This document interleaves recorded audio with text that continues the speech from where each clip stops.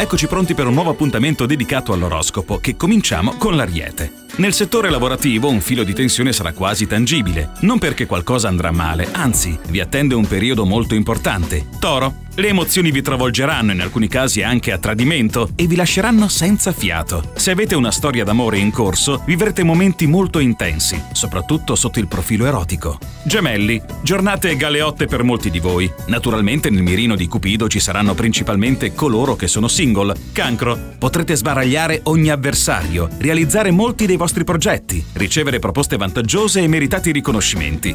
Leone, produttivi si riveleranno i contatti con l'estero e con gli ambienti finanziari e amministrativi. Buone notizie arriveranno a chi lavora nei settori culturali e scolastici. Vergine, giornata decisamente invitante si annuncia alla vostra porta. Vi sentirete amati e desiderati dal partner e questo è proprio quello che conta. Bilancia, non mancheranno novità, piccole sorprese, cambiamenti significativi, tutto quello che serve a movimentare piacevolmente la vita.